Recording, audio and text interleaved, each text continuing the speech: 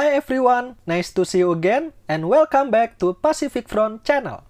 Few days ago, I heard the Philippine Air Force intended to buy more FA-50 light combat aircraft. Although the number of aircraft to be ordered and when this plan will go into effect has not been announced, this additional aircraft will be a great help for the Philippine Air Force and the Philippines in general to defend their airspace. So today, why not discuss this aircraft a little bit? From its development history, selling points, and why the FA-50 is the best combat aircraft in its class. Stay tuned. The FA-50 light combat aircraft is part of the T-50 Golden Eagle advanced trainer aircraft developed jointly by Korea Aerospace Industries and Lockheed Martin for the Republic of Korea Air Force or ROKAF. Developed primarily as a trainer aircraft capable of supersonic flight, the T-50 family has increased to include the TA-50 Lead-In Fighter Trainer or LIF variant, the T-50B Aerobatic Demonstrator, and the FA-50 Light Combat Aircraft. The program began in the late 90s with the intention to develop an advanced jet trainers to prepare South Korean pilots for the KF-16 and F-15K. The design was approved in 1999 and was formally designated as the T-50 Golden Eagle in February 2000. The final assembly of the first T-50 took place in 2001, while the first flight test took place in August 2002. Three years later, it entered service with the Republic of Korea Air Force. Besides minor differences on some part of the aircraft, it can be hard to differentiate one variant with another if we don't look at it carefully, because most of the differences are located inside the aircraft. Some differences between the T-50 and FA-50 for example is in their avionics, engine types, fuel tanks capacity, a tactical data link, among others. The FA-50 has a length of 13.14 meters, height of 4.81 meters, wingspan of 9.45 meters, and maximum takeoff weight of 12,200 kilograms. Powered with General Electric F414 producing a maximum thrust of 22,000 pounds, it has a maximum speed of 1,800 km per hour or one and a half times the speed of sound. Furthermore, the FA-50 has a range of 1,851 km, service ceiling of 14,630 meters, and has a crew of two, pilot and co-pilot.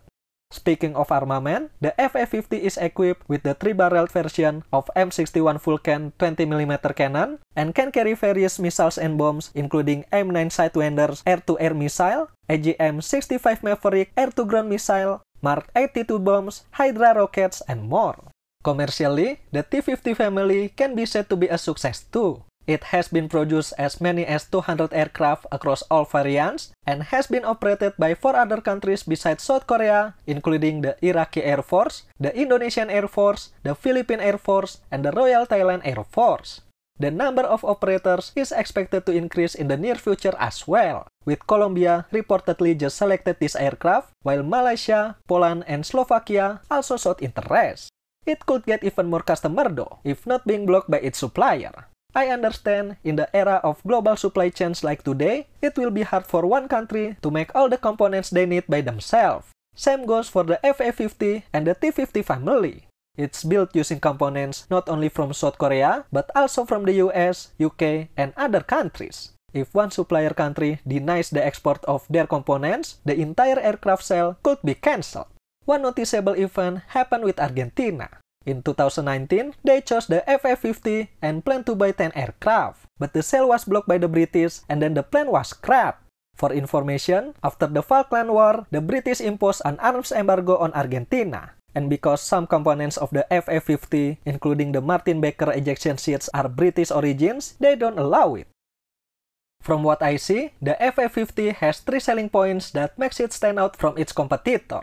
First, the FA-50 and the T-50 family in general is an affordable, easy to operate and maintain aircraft. For a country with limited defense budget, buying a fighter aircraft like the F-16 or MiX for example might still be out of their reach. So, it's more reasonable for them to choose a smaller aircraft like the FA-50 as a more affordable, cost-effective solution. Yes, I know it's slightly more expensive than its competitor in its class, but I will talk about that in a minute. The second one is the T-50 family offers all-in-one solution for every Air Force need. Building an Air Force is not as simple as buying fighter jets and it's done. You need other platform to train and prepare your pilots before you can let them sit in your expensive fighter or combat aircraft. and the T-50 family offers this solution. Starting from advanced trainer to combat aircraft, all can be provided by a single platform, minimizing the logistical footprint of the Air Force and reducing training time of the pilots.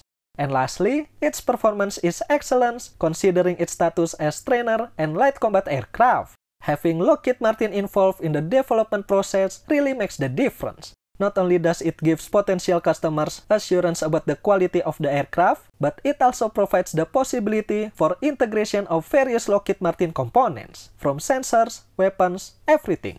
Moreover, having a top speed of Mach 1.5 gives added value to the T-50 family, because there are only a few advanced trainer aircraft with supersonic capability in the world. This was also one of the reasons why the Indonesian Air Force chose the T-50 instead of the M346 Masters and Yak-130 a decade ago. So, I think it's reasonable for the FA-50 to have a more expensive price tag because it offers more capabilities than the competitors. What will the future of the FA-50 look like? I'm gonna say it's pretty bright. The number of its customer and the number of aircraft built definitely will only increase in the future and KAI already has several plans to enhance the capability and expand the use of the platform. Since 2019, they have begun the development of an improved FF50 known as Block 10 and Block 20 upgrades. The Block 10 is a software upgrade which can allow the FF50 to carry Lockheed Martin sniper targeting pods, while the Block 20 is capability improvement to conduct beyond visual range air-to-air -air combat, including the ability to carry the AIM-120 AMRAAM. Furthermore, in a video released by KAI in ADEX 2021 in Seoul, they show the unmanned version of the aircraft flying together with the KF-21. So we might see a drone version of the FA-50 flying in the future. For the recap, starting as an advanced trainer aircraft, the T-50 has evolved to become a more powerful air asset in the form of the FA-50 light combat aircraft.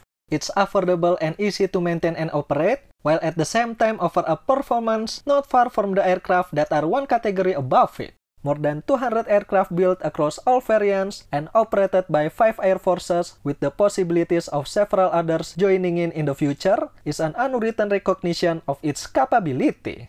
With the development of Block 10 and Block 20, also the planned drone version to accompany Korea's next generation fighter aircraft will only expand its potential.